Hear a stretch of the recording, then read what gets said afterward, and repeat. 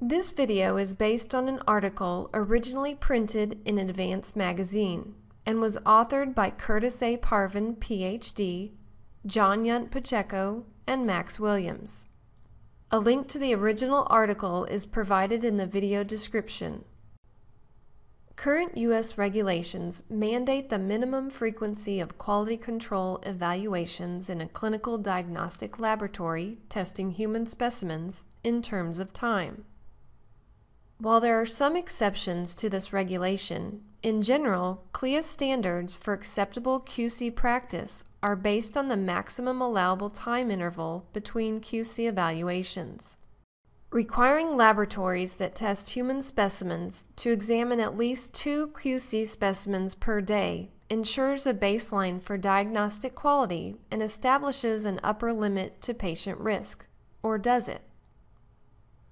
There are two different ways that the frequency of QC testing can be considered in terms of the time between QC evaluations or the number of patient specimens examined between QC evaluations.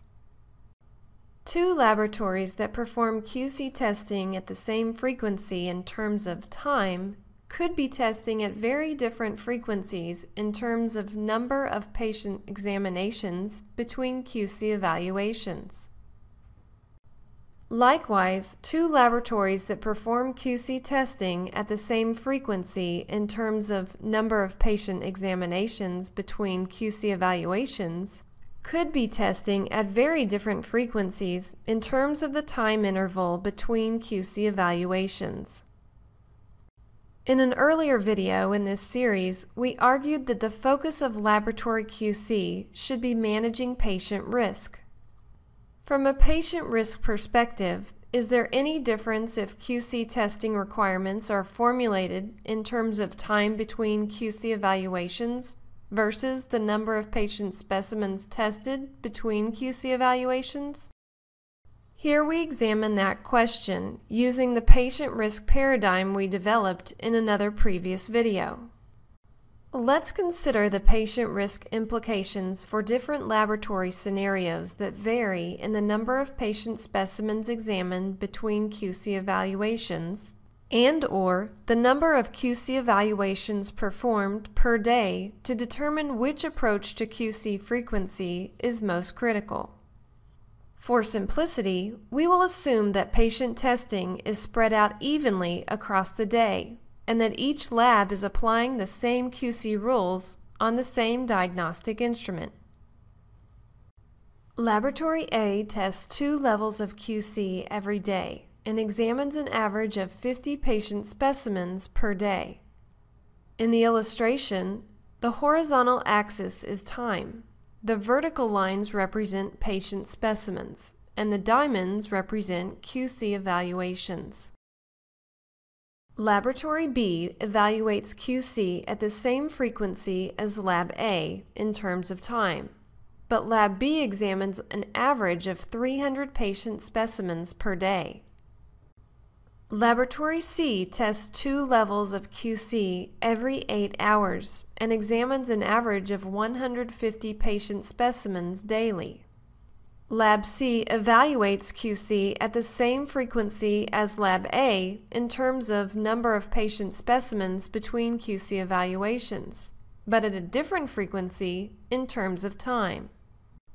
From CLIA's perspective, both Labs A and B are meeting the regulation's minimum requirement by examining two QC samples every 24 hours while Lab C is exceeding the minimum requirements by doing three times as much QC, six QC examinations every day, split into three QC evaluations.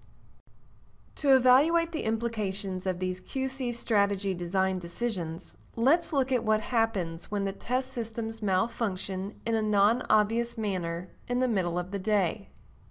There is little risk in an obvious malfunction producing unreliable results. It is the unrecognized malfunction that increases patient risk. A shift in results can be difficult to detect prior to a QC event because the true patient concentrations are unknown. This illustration depicts a malfunction that shifts results higher to the extent that there is a 40% chance that the examination error in an individual patient result is large enough to make the result unreliable. The error exceeds an allowable total error. Each red asterisk represents an unreliable patient result that is produced due to the unrecognized malfunction. After the malfunction is detected by a failing QC event, it is corrected and subsequent results are reliable. This example is somewhat optimistic in assuming that the first QC event will detect the malfunction. Depending on the magnitude of the error and the QC rules used, it may take several QC evaluations to detect the malfunction. When an undetected persistent malfunction occurs, the number of unreliable patient results produced will be proportional to the number of specimens examined while the test system is malfunctioning. The number of unreliable results produced by Lab A is approximately the same as the number of unreliable results produced by Lab C, but Lab B produced six times as many unreliable results as Labs A or C.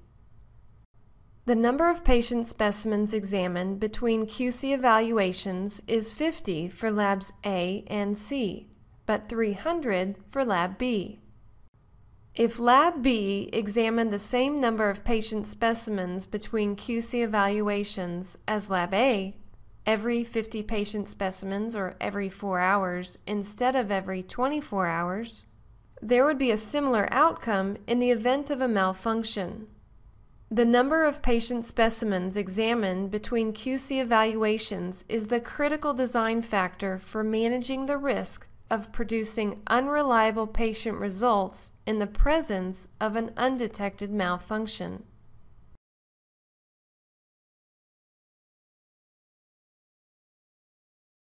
For all your laboratory QC needs, go to www.qcnet.com.